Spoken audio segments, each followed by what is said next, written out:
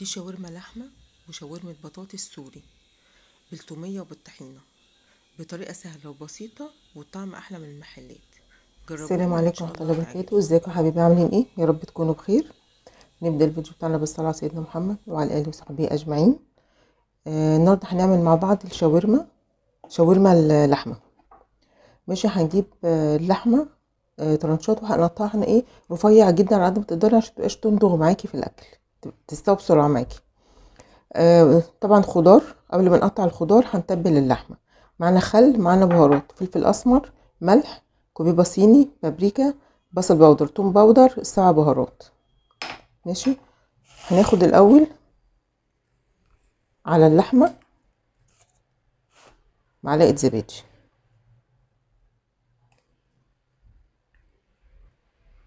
بس مش كتير.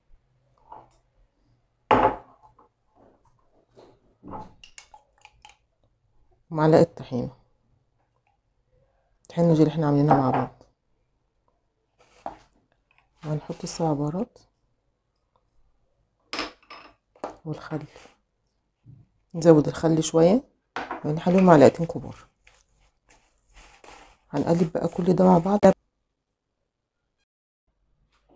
وهنا بعد ما قطعنا الخضار طبعا الفراخ اللحمة بتاعتنا اتبلت كويس قوي وقعدت في التتبيلة فتره كفايه معانا بقى الخضار. زي ما قلنا معانا فلفل كوبي. الكميه اللي انت عايزاها في أي في الخضار. فلفل كوبي طماطم آه بصلة. معانا دي لية. لية دي بتدي طعم حلو قوي للشاورما. جربيها بيها هتعجبك إن شاء الله. آه، لو ما بتحبهاش ما بس أنا بحطها وقطعيها لو أنتوا ما بتحبوهاش قطعيها تقطيعة كبيرة. تاخد الطعم بس في الشاورما تديها الطعم وبعد كده بقى شيليها بس نحطها كده ما نقلبهاش بقى.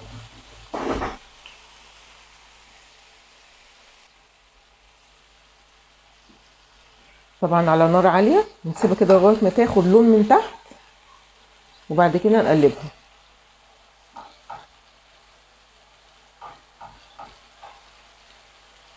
وحاولوا تعملوها في طاسة كبيرة علشان خاطر الكمية تبقى مفروده في الطاسة كلها. لو عملتيها في طاسة صغيرة مش هتنزل معاكي مية. مش هتاخد اللون اللي من تحت ده. إحنا عايزين اللون ده حلو اللي هو بيبقى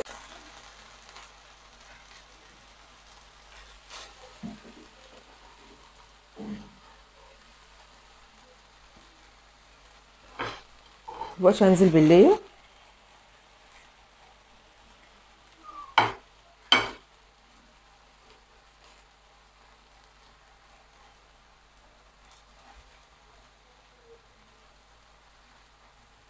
الريحه تحفة يا يعني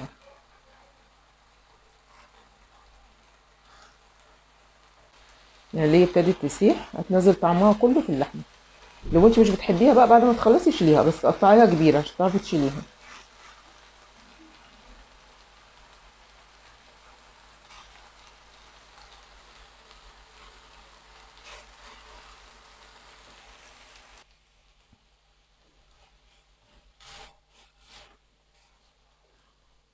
يعني كده دخلت في السوا كده بقى ممكن نوطي النار شوية.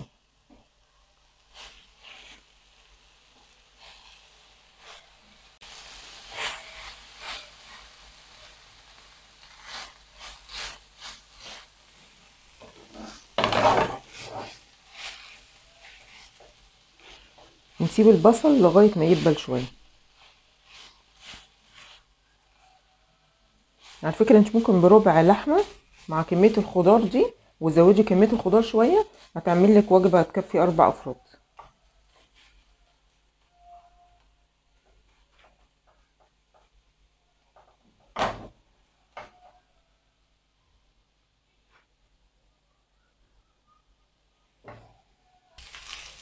هنا البصل بعد ما دبل هنحط الفلفل الكوبي.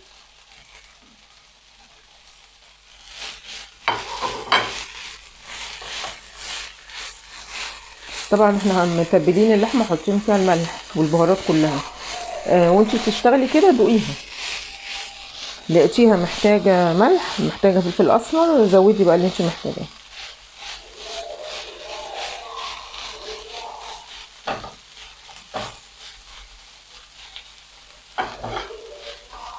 هنضيف الطماطم آخر حاجة عشان ما تستواش قوي. الفلفل الكوبي برضو أنا ما بحبوش يقعد ياما على النار عشان بحب طعمه. يبقى فريش كده يبقى فيه قرشة.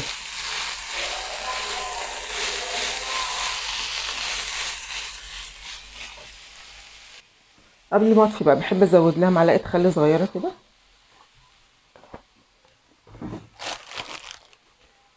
ورشة من الزعتر الأخضر الزعتر اللبناني.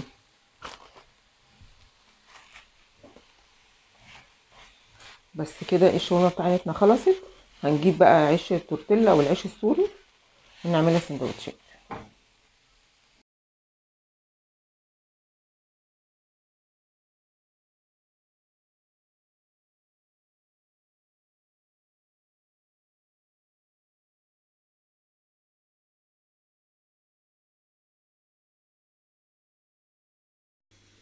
هنا هنبتدي بقى نعمل سندوتشات. معانا طبعا الشاورما بتاعتنا ومعانا طحينة وطوميه وبطاطس محمرة وخيار مخلل.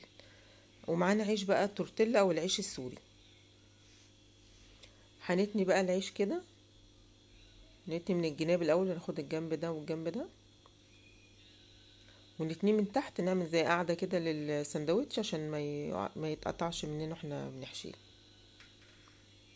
هنحط بقى سلطة الطحينة تحت. كمية طبعا اللي انت عايزاها. هي طبعا اللحمة بيليق معاها سلطة الطحينة والمايونيز بيتحط مع الفراخ شاورما الفراخ أو مع البطاطس. هنحط بقى الشاورما كمية طبعا اللي انت عايزاها. أنا بقولك من ربع كيلو تقدري تعملي أكلة تكفي أربع أفراد سندوتشات يعني تعملي كمية كبيرة. وزودي لها خضار شوية.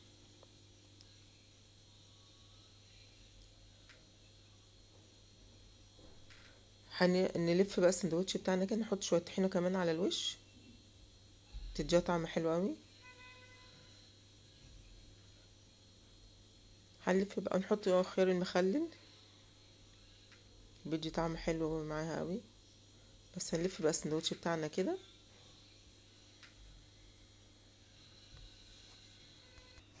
هنشيله بقى كده على جنب لغاية ما نخلص ونعملهم بقى كلهم على النار. هعمل معاكم واحد بطاطس عشان تشوفوا برضو عملت البطاطس إزاي وبعد كده هكملهم أنا بقى مع نفسي. برضو هنتني العيش من الجناب ومن تحت.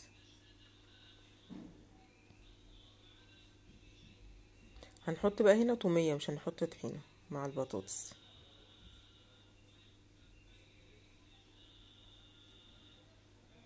نفرد بقى التومية كده وهنحط البطاطس.